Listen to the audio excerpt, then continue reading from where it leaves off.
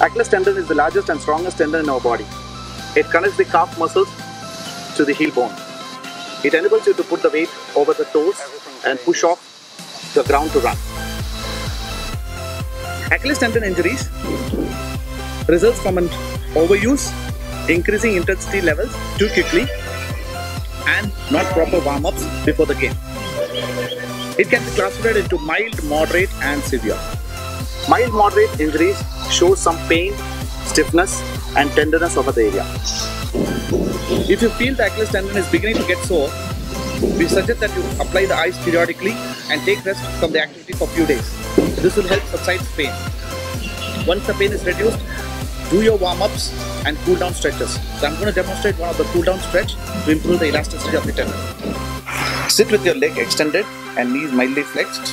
Loop a band around your leg and slowly pull back so that your foot stretches towards you and also create a resistance against the band. After a few days, you may begin strengthening.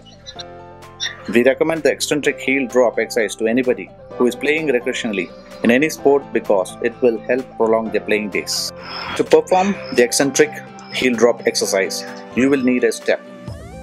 Standing on a step in the way depicted, use both feet to perform a calf raise. Then lift the uninjured leg so as to shift all of your weight onto the injured leg.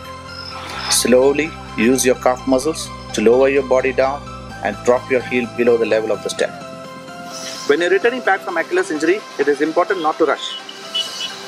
Make sure the injured leg has a complete range of motion and is pain free while jogging, sprinting, and jumping. As a final word, always wear comfortable shoes, warm up properly, and listen to your body, especially when increasing the intensity levels. That's it from our side. Thank you guys for your time and make sure you always remember to play safe. For more information, stay updated, check out our website and Facebook. Thank you.